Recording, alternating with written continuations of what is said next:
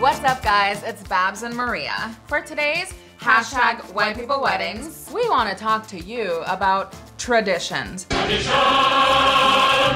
And yes, I'm putting quotations around traditions because they're that ridiculous. You don't even know why you're doing half of this shit. Like getting in a car that's all tagged up with spray paint, letting the whole world know that you're just married. How about keeping the back windows clear so the driver can check his blind spots? Great, you're in love, but you're about to cause an accident.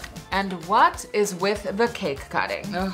Why do white people insist on smearing cake all over each other's faces? Did I give you permission to play with my food?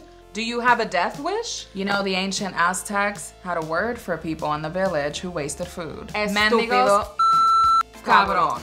And after you ruin dessert, you expect us to sit through a slideshow? Hell no. Do you really think we need to see a video of the both of you going through your entire childhood? Let's face it, all white people look the same. Little white Casper's walking around with her Lisa Frank binders and little tiny Ugg boots.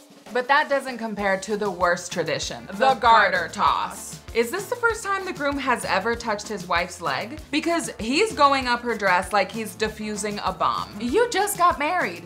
You own that shit now. Get up in there. You should be so far up there, your head gets stuck. We should be like, get that guy out of there. He's been up there way too long. He needs a snorkel. Are you sure you're not into men?